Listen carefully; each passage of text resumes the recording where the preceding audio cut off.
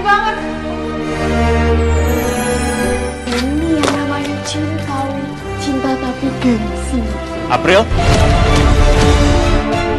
Kamu gak percaya sama aku? Yang mama lihat itu Marika, ibu kandungnya Dewi.